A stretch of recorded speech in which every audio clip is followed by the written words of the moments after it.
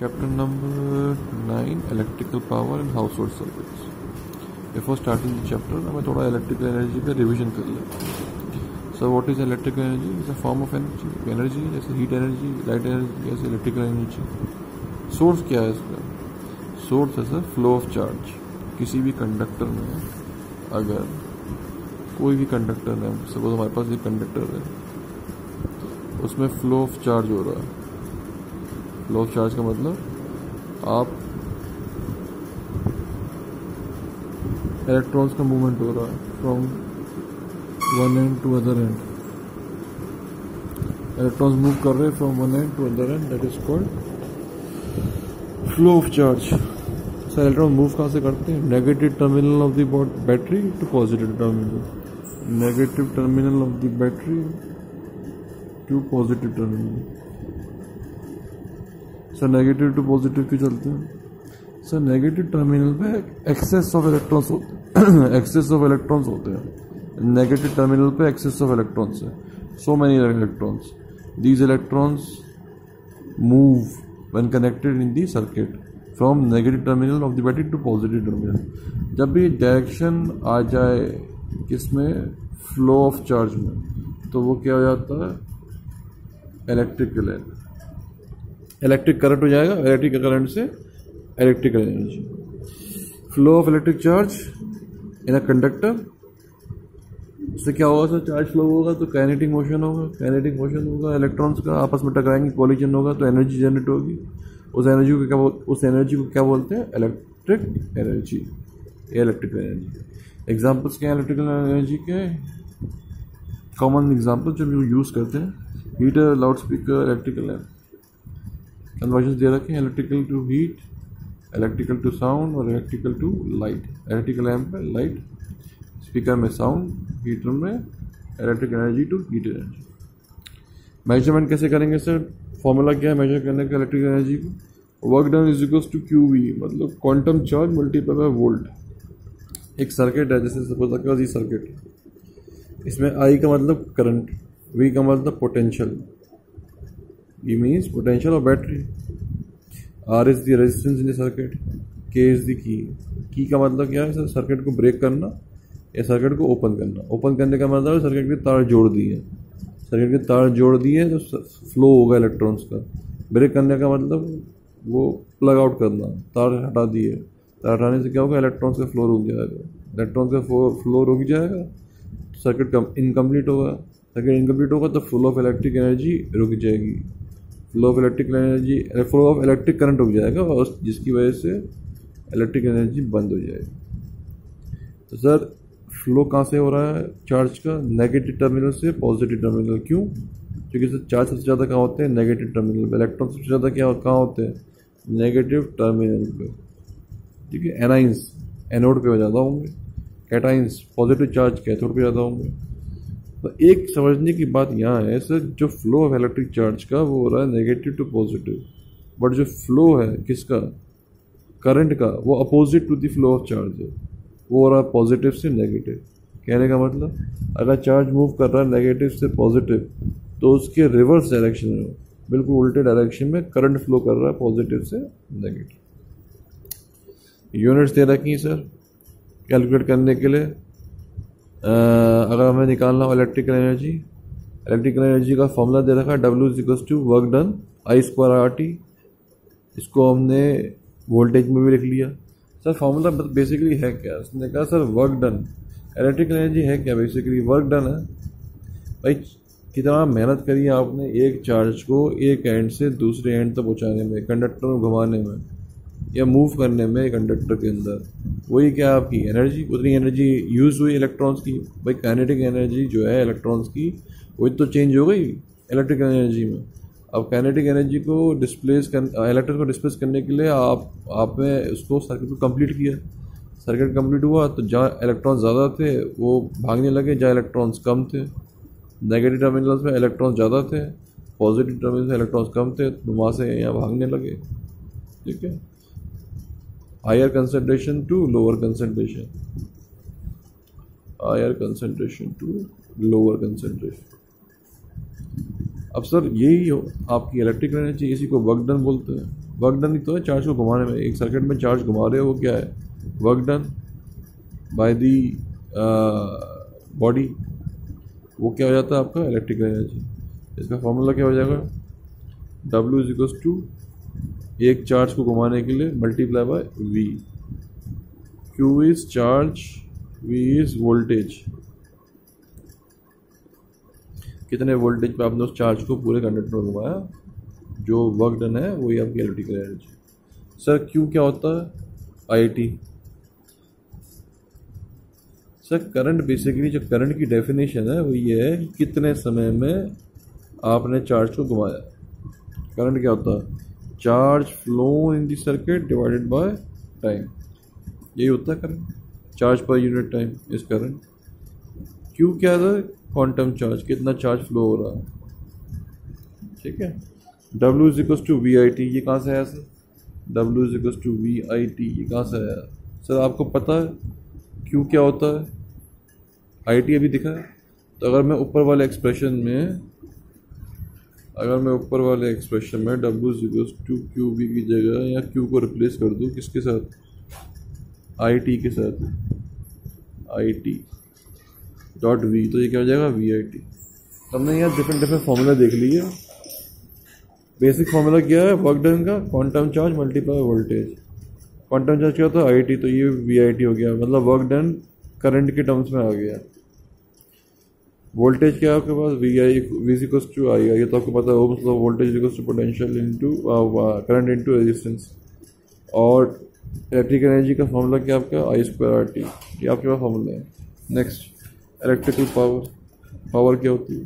जिस रेट से आप, जिस रेट से आप चार्ज मूव कर रहे हैं सर्किट में, वो क्या है आपकी इलेक्ट्रिकल पावर जिस रेट से आप चार्ज को मूव कर रहे हैं जिस रेट से आप चार्ज को मूव कर रहे हैं, वो आपकी क्या जाएगी? इलेक्ट्रिकल पावर फॉर्मूला क्या हो जाएगा? Power is equal to work done by time V I T by T बाकी सारे फॉर्मूले वही सेम है।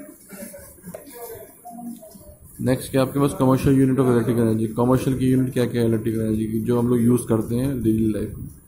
Sir kilo watt hour use करते हैं। कमर्शियल यूनिट क्या है? Electrical energy kilo watt hour भाई, आपका जो बिल आता है इलेक्ट्रिसिटी का किसमें आता है? के डब्ल्यू में आता है। भाई के डब्ल्यू में आएगा या के वी ए में आएगा?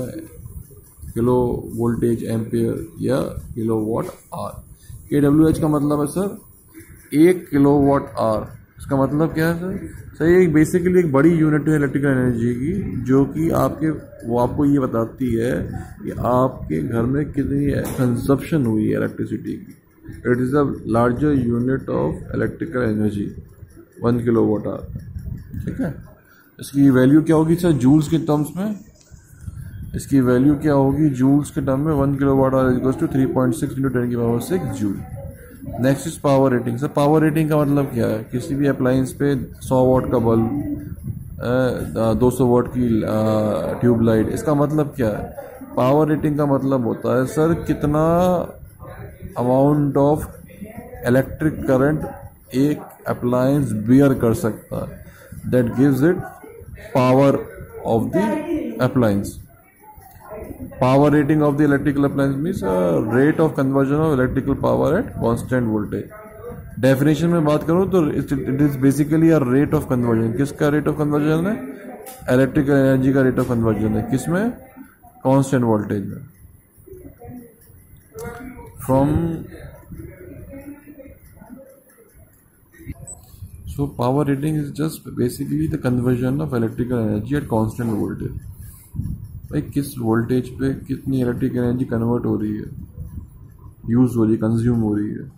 That is called power rating of an appliance ये से दो चीज़ें इंपॉर्टेंट मिलती है. तो पहली चीज़, आपको मैंने जब भी बताया डिस्कस किया था कि कितने अमाउंट ऑफ़ करंट हम लोग इस अप्लायंस में फ्लो करवा सकते हैं.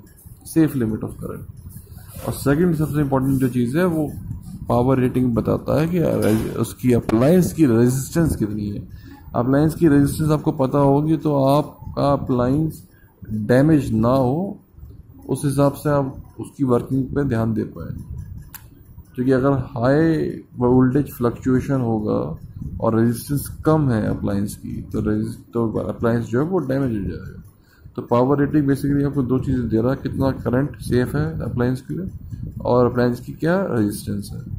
होते क्या है power rating power rating basically ये बताती है आपको कि आपकी जो इलेक्ट्रिकल एनर्जी है, जो इसमें अप्लायंस में पास होगी, वो किस रेट से कंज्यूम होगी एट कांस्टेंट वोल्टेज किस रेट से ख़त्म होगी एनर्जी वो?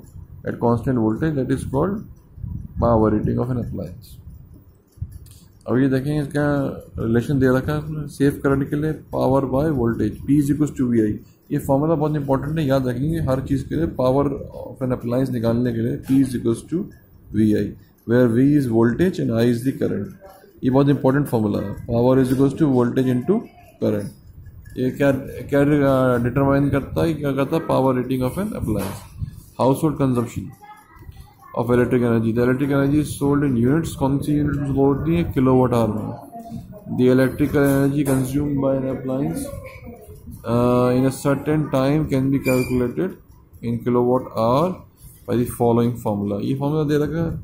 निकालते कैसे कि W H power in kilowatt जितने किलो वाट का आपकी घर में पावर यूज़ हो रही है मल्टीप्लाई बाय कितने टाइम के लिए यूज़ हो रही है, वो आपको क्या दीजिएगा एनर्जी भाई एनर्जी कितनी आपने कंज्यूम करी है घर में? जितनी पावर आपके घर में लगी हुई है अप्लाइंसिस में, सबको आपने ऐड कर लिया। कितने घंटे के लिए चल रही हैं, उससे मल्टीप्लाई कर दिया। तो आपको क्या आ जाएगा? Electrical energy consume in kilowatt are heating effect of current current के क्या क्या हीटिंग इफ़ेक्ट होते हैं? W is equal to W is equal to H is equal to I square R T ये तो फॉर्मूला है। वर्क डन का यहाँ क्या हो गया? बेसिकली वर्क डन क्या हो गया? हीट एनर्जी भाई, जहाँ चार्ज फ्लो होगा, जहाँ कोलिजन होंगे कैनेटिक एनर्जी की वजह से इलेक्ट्रॉन्स के बीच में तो सर हीट तो निकलेगी। भाई, टक्कर होगी तो हीट तो निकलेगी। कोलिजन होंगे तो टक्कर हीट निकलेगी। अब चार्ज जो फ्लो कर रहा है तो वो हीट डिसिपेट करेगा आउट लिबरेट करेगा हीट तो हर डिवाइस के अपने, आपने ये देखा है कि जब आप चार्जर लगा के छोड़ दें, आपका फ़ोन चार्ज हो जाता है, आपका फ़ोन और चार्जर दोनों गर्म हो जाते हैं। वो क्यों गर्म हो जाते हैं? Sir because current has a heating effect किस चीज़ पे डिपेंड करता है वो heating effect square of the resistance जो कि फॉर्मूला क्या कहता है? H is to I square R T formula क्या है? हीट एनर्जी का। Due to electric current H H is equal to heat energy is equal to I square R T तो पहला स्टेप क्या है? Square of the current current के directly proportional है किसके? हीट एनर्जी करंट के directly proportional है किस टर्म्स में? स्क्वायर में. It depends on the resistance of the appliance heat energy depend करेगी इलेक्ट्रिकल करंट पे भी और इलेक्ट्रिकल रेजिस्टेंस पे भी डिपेंड करेगी, और टाइम पे डिपेंड करेगी। कितने घंटे के लिए चलाया? क्या उसके अंदर करंट पास किया है? कितना अमाउंट ऑफ़ करंट पास किया है? भाई, अगर किसी फाइव एम्पियर के चार्जर में आप दस एम्पियर करंट पास कर दो चार्जर फूक जाएगा ना, जल जाएगा। वो चार्जर जल क्यों रहा है? Because of high amount of current passing through the charger ठीक है? और उसको लो करंट पास करोगे तो वो उतनी अच्छी चार्जिंग नहीं देगा अंडर परफॉर्म करेगा। क्यों? क्योंकि आपने करंट की जो वैल्यू है सेफ़ लिमिट से भी कम कर दी, काफ़ी कम कर दी। उससे स्लो चार्जिंग हो रही है। रेजिस्टेंस क्या है सर रेजिस्टेंस कितना ऑब्स्ट्रक्शन ऑफ़र कर रहा है? उस वायर का मटेरियल क्या ऑब्स्ट्रक्शन ऑफ़ ऑब्स्ट्रक्शन का मतलब क्या रुकावट दे रहा है चार्ज की फ्लो में? जितना कम होगा, उतना तेज़ी से चार्ज फ्लो करेगा। जितनी तेज़ी से चार्ज फ्लो करेगा, उतनी तेज़ी से मोशन होगा इलेक्ट्रॉन्स का, जिससे हीट एनर्जी निकलेगी। हीट एनर्जी बढ़ेगी रेजिस्टेंस से।